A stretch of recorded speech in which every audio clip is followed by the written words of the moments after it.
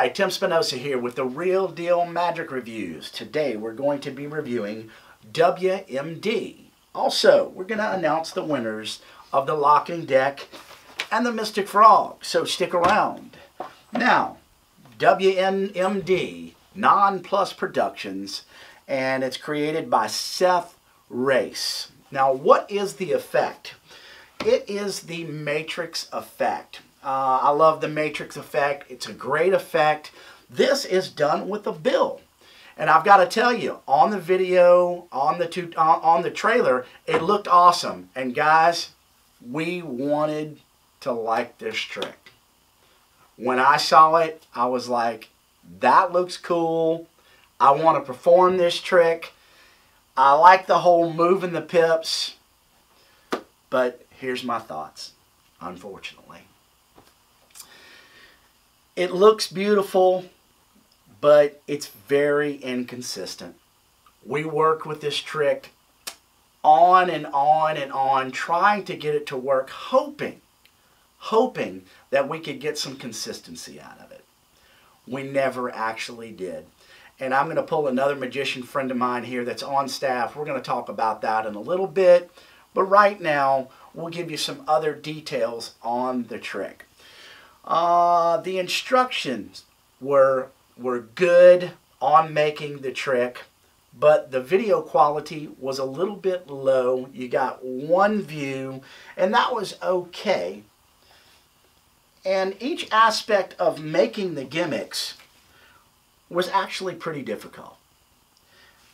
And you're going to spend $2 on making the first gimmick. You have two gimmick options. You're going to spend $2 on making this one and you're going to spend $3 on making this one. Now the price point of the trick is $35. So you've got to add another 3 bucks here, another 2 bucks here. So you're looking at 40 bucks total.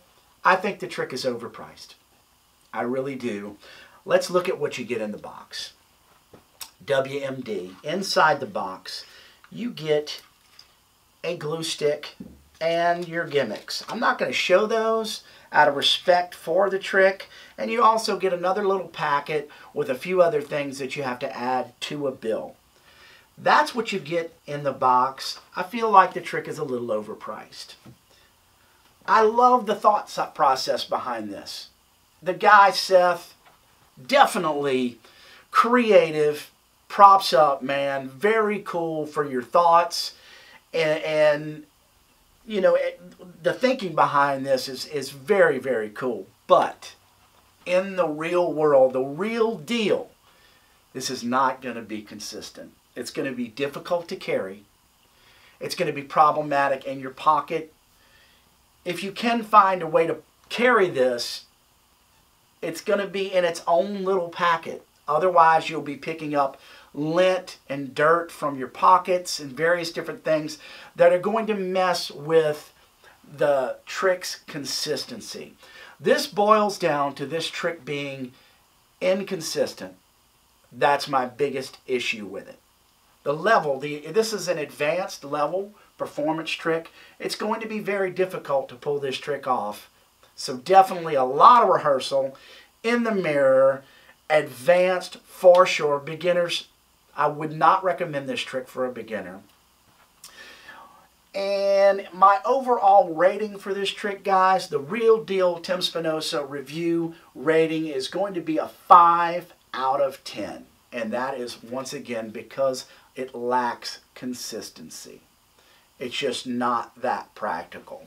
Who's going to want to perform this trick? Probably hardcore Matrix guys. It's a great effect. I love the matrix effect. I've always loved it with the coins and various different things. And the fact that the pip moves on the dollar bill on this, like I said, we wanted this to work. We wanted this to be something that I could perform.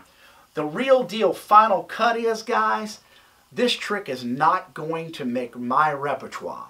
You may fall in love with this. I've tried to give you everything all the tools for you to know whether you should purchase this item.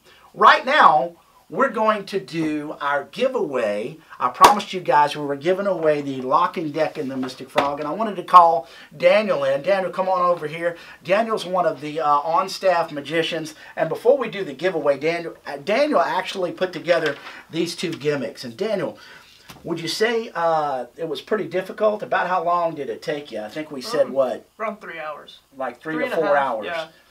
So to make both gimmicks, it was quite lengthy, and it was it was pretty difficult, if you Yeah. had to say. Very tedious. A lot of small things you have to work with. right. Um, the video did show everything quite well, but there wasn't a whole lot of really close-up things to show you exactly how you want it to look. Yeah, he did a good job of teaching it, Yeah. but the camera views could have possibly Could have been a little bit- better. Okay, yeah. Could have been a little better. Now you've worked with this trick for two days. I've worked with it for two days.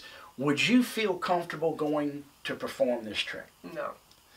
Do you ever think you would feel get to a level where you would feel comfortable with the consistency of this trick?